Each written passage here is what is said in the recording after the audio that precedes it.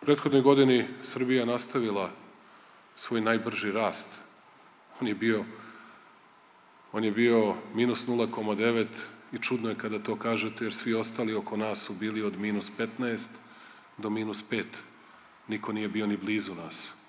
I to smo uspeli zahvaljujući velikom trudu, radu, energiji koju su ulagali i pojedini članovi vlade, ali pre svega građani Srbije, radnici, ali moramo da budemo zahvalni i na disciplini, na strpljenju, na trpeljivosti našim penzionerima, onima koji su uvek u svoju državu, onima koji se raduju uspesima svoje zemlje, a ne traže dlaku u jajetu da bi tek nešto rekli protiv svoje vlade, protiv svog predsednika, protiv svoje države.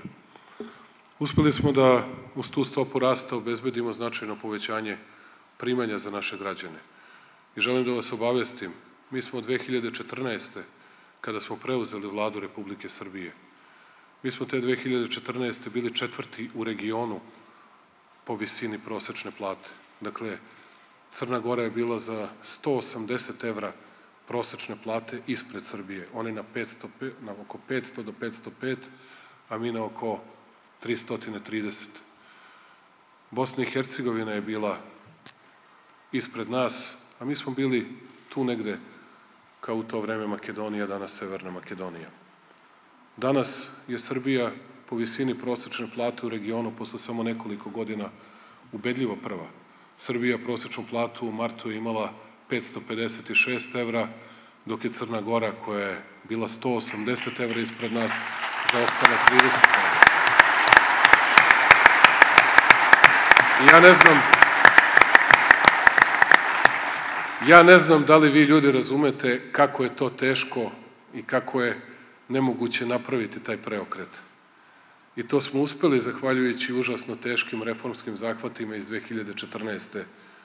godine i 2015. je prolazila presporo jer rezultate ne možete da vidite. Čak i 2016. u kojoj smo već uspeli da imamo rast od 3,2%.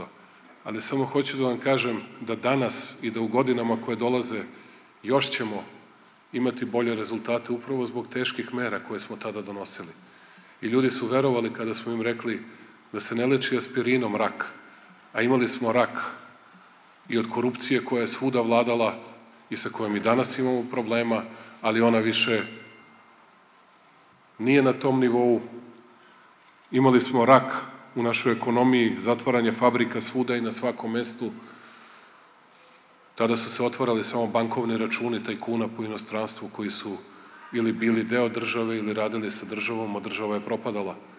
Uspeli smo to da promenimo i da danas bude Srbija zemlja koja se gradi i napreduje. I kada pogledate april, ovaj danas u kojem i dalje gotovo svi nosimo maske u odnosu na prošli april, Evo vam poslednji podatak. Trgovina nam je napredovala za 47% april na april.